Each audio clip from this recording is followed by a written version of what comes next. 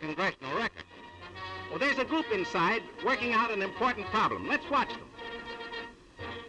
After working for hours, they've just discovered that a three-lettered word for ostrich is E-M-U. Smart men. Here it is, folks, the NRA building, where they practice what they preach. Their code is to quit on the dot of five. And boy, how they quit. Meet Eddie Savoy, the oldest living government employee. Eddie has been working for his Uncle Sam for more than 70 years. You are now gazing at the nation's capital. You will notice the Capitol is on a hill. for years it was in a rut.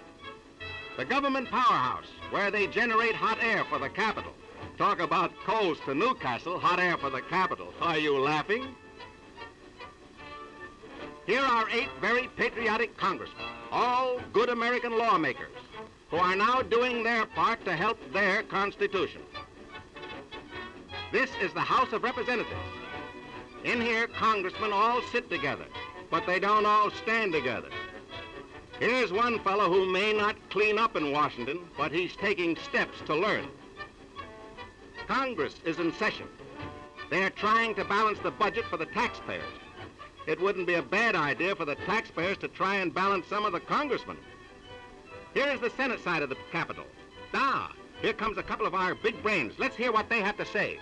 I disagreed with the President on the matter, so I took it up with the chairman of the Ways and Means Committee. Yes, and what was his opinion? He agreed with me, sir. He said I was absolutely right. We are not eating enough spinach. and another big national issue is solved. Well, folks, after looking Washington over, I'm convinced that this country does not need a good five-cent cigar. What the country really needs is more state and fewer politicians.